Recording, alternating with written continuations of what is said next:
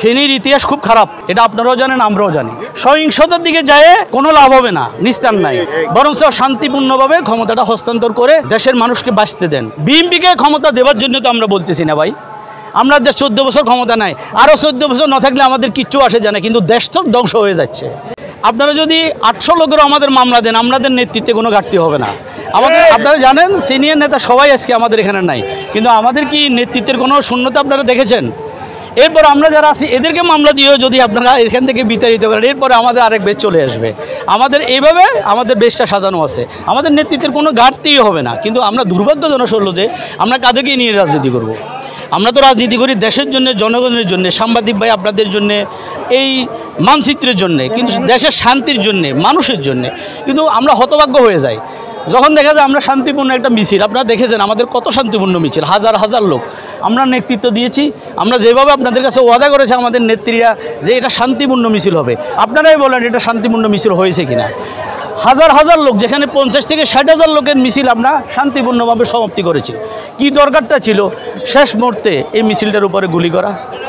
Alternative আপনারা দেখেছেন, আমাদের কাছে খুব কষ্ট লেগেছে, আপনারা জাতির বিবেক। আপনাদের অফিসটা কীভাবে বাংসুর করল? আপনাদের কাছে পটিশ আছে। আপনাদের সবার কাছে এই ভিডিওগুলো আছে। ওদের বিরুদ্ধে এখন আমরা আমরা আপনাদের আপনাদের মাধ্যমে যে দাবি জানাব আপনাদের দাবিটা কার মাধ্যমে জানাবেন সেটা বলেন। আপনারাও দাবি জানাইছেন আপনারা ওই দিন দুইটা প্রোগ্রাম করেছে ধন্যবাদ আপনাদের সাংবাদিক আপনারাও প্রতিবাদ জানান আমরাও প্রতিবাদ জানাব এটা শেষ আছে।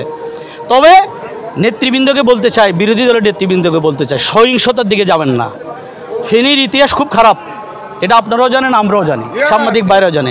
সহিংসতার দিকে যায় কোনো লাভ হবে না, নিস্তার নাই। বরঞ্চ শান্তিপূর্ণভাবে ক্ষমতাটা হস্তান্তর করে দেশের মানুষকে বাঁচতে দেন। আপনারা আপনারা একটা জিনিস বুঝেন, আমরা তত্ত্বাবধায়ক সরকার নিরপেক্ষ, সরকারের অধীনে ক্ষমতা হস্তান্তর করার জন্য বলছি। আমরা বিএনপিকে ক্ষমতা দেওয়ার জন্য তো আমরা বলতেছি না ভাই। আমরা দেশ চোদ্দ বছর ক্ষমতা নাই। আরও চোদ্দ বছর না থাকলে আমাদের কিচ্ছু আসে জানে কিন্তু দেশ তো ধ্বংস হয়ে যাচ্ছে। দেশের মানুষ একটা গরিব রিক্সাওয়ালা পাঁচ হাজার টাকা নিয়ে যখন বাজারে যায়, সে ঠিকমতো তার এক সপ্তাহ বাজার নিয়ে আসতে পারে না। আপনারা সাংবাদিকেরা যখন বাজারে যান, তখন আপনাদের কি অবস্থায় বলেন? অথচ দেশের হাজার হাজার টাকা লুট করছে। আমরা এগুলোর বিরুদ্ধে প্রতিবাদ করতেছি। আমরা ক্ষমতা আসতে হবে, প্রয়োজন নাই। আর যে ক্ষমতায় আসুক, তত্ত্বাবধায়ক তত্ত্বাবধায়ক সরকারের কাছে ক্ষমতা হস্তান্তর করেন এবং একটা গণতান্ত্রিক সরকার দেন। এটাই আমাদের দাবি, এর বাইরে আমাদের কিছু নাই।